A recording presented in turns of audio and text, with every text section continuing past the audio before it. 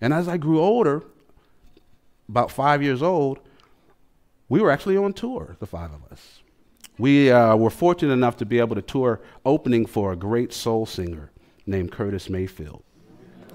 And uh, so if I was five years old, my oldest brother was only 13. But when I think about it, we could speak good English at that age. Why not music? So I've always since then approached music just like a language because I learned it at the same time and in the same way.